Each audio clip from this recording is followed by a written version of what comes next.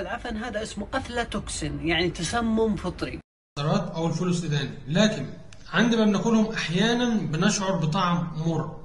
في اللحظة دي لازم تلفظها فورا من فمك في سلة القمامه وتتمضمض أكتر من سبع مرات حتى تتخلص من طعم المرار ده تماما. المرار اللي انت حسيته في فمك ده هو الأفلاتوكسين أو التسمم الفطري.